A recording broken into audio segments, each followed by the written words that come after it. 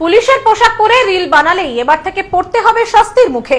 উপর মহল থেকে নির্দেশ এলো জেলা সুপারদের কাছে। আপনি কি রিলস ভিডিও বানাতে পছন্দ করেন? তাহলে এই প্রতিবেদনটি আপনার জন্য। আজ থেকেই এই সাবধানতাগুলো অবলম্বন করে চলুন। এবার থেকে আর পুলিশের উর্দি পরে বানানো যাবে না রিলস ভিডিও। করা নির্দেশ উপর মহলের উর্দি পরে রিলস বানালে পেতে হবে শাস্তি। এমনকি দিতে হতে পারে জরিমানাও। বর্তমানে সোশ্যাল মিডিয়া জগতে মানুষের কাছে সব থেকে পছন্দের জিনিস হলো রিলস ভিডিও বানানো।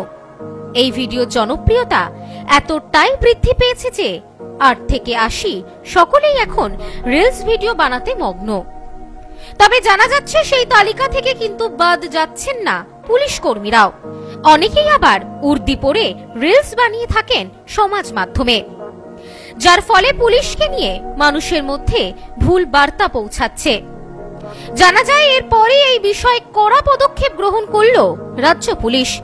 উর্দি পরে রিলস ভিডিও তৈরি করলেই সেই ক্ষেত্রে সংশ্লিষ্ট পুলিশ কর্মী বা অফিসারের বিরুদ্ধে কড়া পদক্ষেপ গ্রহণ করা হবে। জানা যায়, এই মর্মে সব জেলার এসপিদের নির্দেশ দিয়েছেন এডিজি। পুলিশ সূত্রে জানা গিয়েছে, অনেকেই অভিযোগ করেছেন, পুলিশের উর্দি পরে বহু পুলিশ কর্মী রিলস বানাচ্ছেন এবং সেগুলি সমাজ মাধ্যমে দেদার আপলোড করছেন। জানা গিয়েছে, সম্প্রতি রাজ্য পুলিশের ডিজি রাজীব কুমার পূর্ব বর্ধমানের এক বাসিন্দার কাছে অভিযোগ পেয়েছিলেন। তাতে অভিযোগ করা হয়, একজন পুলিশ কর্মী উর্দি পরে সমাজ মাধ্যমে রিলস আপলোড করেছেন। এর ফলে পুলিশের শৃঙ্খলা, সুনাম ও মর্যাদা নষ্ট হচ্ছে বলে অভিযোগ উঠছে।